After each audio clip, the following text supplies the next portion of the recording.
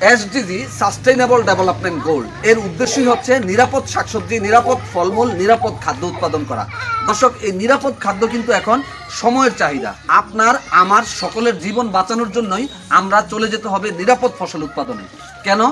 কারণ আমরা সকলেই জানি এই বিষাক্ত শাকসবজি, ফলমূল এবং খাদ্য খেয়ে আমরা আজকে ভুগছি জটিল এবং কঠিন রোগে। দর্শক মৃত্যুর দিকে ধাবিত হচ্ছি। তাহলে আমরা কি এই বিষাক্ত শাকসবজি ফলমূলই খেতে থাকব?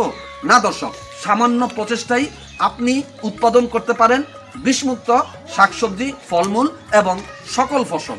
ধারাবাহিকভাবে ছাব্বিশটি জৈব বালাইনাশক আপনাদেরকে তৈরি করে দেখাবো। চলুন, দর্শক, আমরা জেনে নেই বিষমুক্ত শাকসবজি, ফলমূল উৎপাদনে আপনি কীভাবে জৈব বালাইনাশক তৈরি করবেন। দর্শক, ষষ্ঠ পর্বে আপনাদেরকে স্বাগতম। আমার হাতে রয়েছে গরুর চনা দর্শক এই গরুর চনাও কিন্তু একটি উৎকৃষ্ট মানের জৈব বালাইনাশক। তবে এটাকে প্রসেসিং করে নিতে হবে। চলুন দর্শক আমরা জেনে নেই এই গরুর চনা দিয়ে কীভাবে আপনি জৈব বালাইনাশক তৈরি করবেন। আসসালামু আলাইকুম আমি মনিরুজ্জামান উপসহকারী কৃষি অফিসার বরুড়া কুমিল্লা। দর্শক আজকে আরেকটি কীটনাশক তৈরি করে দেখাবো। দর্শক এই গোচনা ব্যবহার করে আপনারা দমন করতে পারেন।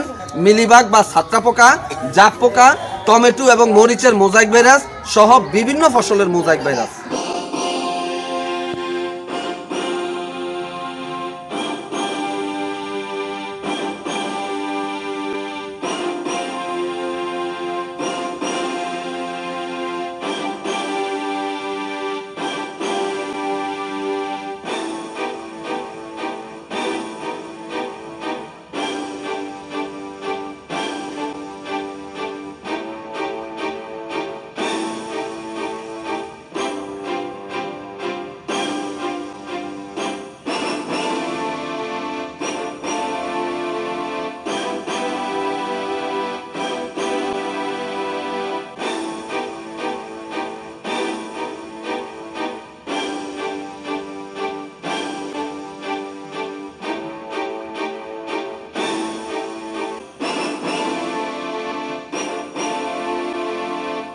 দর্শক, আজকে আপনাদেরকে একটি চমৎকার তথ্য দেব।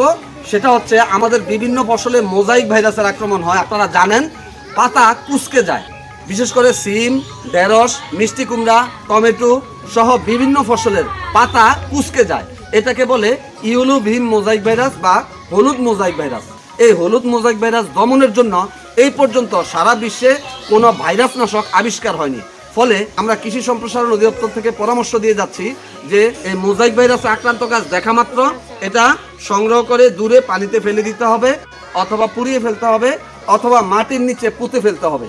কিন্তু দর্শক, আপনারা ইচ্ছা করলে খুব সহজেই এই ফসলগুলোর মোজাইক ভাইরাস প্রতিরোধ করতে পারেন। আজকে দেখাবো সেই বিষয়টি। আপনারা জানেন গরুর চনা বা গোচনা। এই গোচনা হচ্ছে একটি জৈব বালাইনাশক তবে সরাসরি গাছে স্প্রে করা যাবে না।